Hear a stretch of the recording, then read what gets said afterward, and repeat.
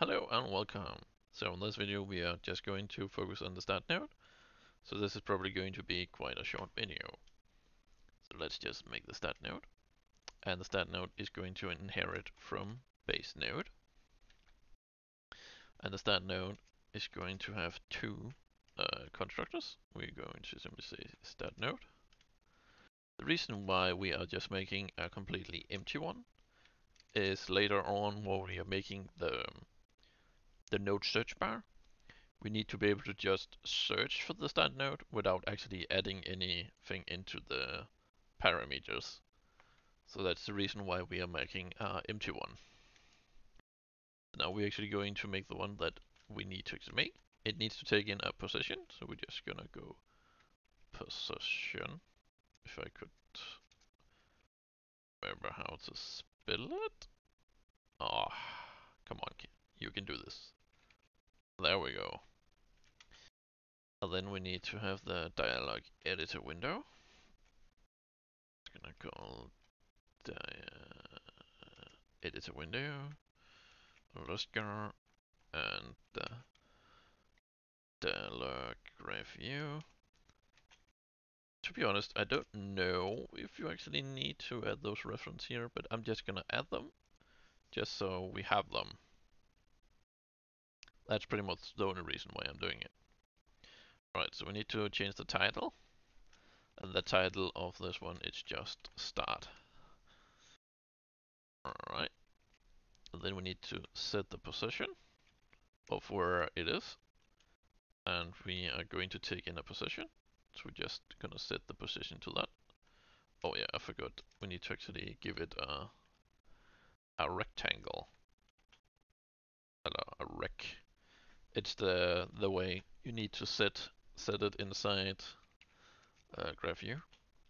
Then we need to go default node size, so it have a reference for that as well. Right, so now we have set it. Now we need to give it uh, its unique uh, unique uh, GUI. Alright, uh, not GUI, uh, GUID, GUID. Uh, it's, it's pretty much its unique way. Uh, we need to add system for that. It's uh, what's it called? It's it's a really unique uh, ID, but it's with the string, so it becomes like uh, it's I think it's like one in one in, in one in billions chance of getting the same ID. So that's why it's uh, it's really really good to use this one.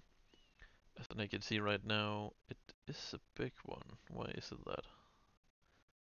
Oh yeah, it's because oh we haven't made this protected. That's why.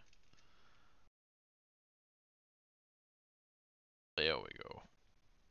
Should always try to reference the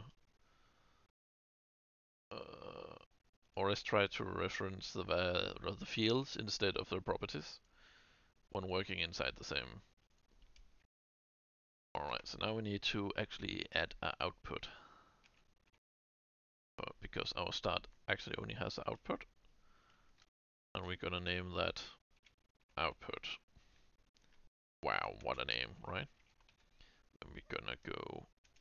Uh, hmm, we actually don't need to make any more than that. But we could also tell it that we needed... Oh, let's add the reference actually needed it to tell it that it is a single. We could do that, but we could also just say no. But uh, let's just add it that for now. Now we also need to make a, a fresh uh, expanded state, meaning that we need to tell the system that we have actually changed uh, this node itself.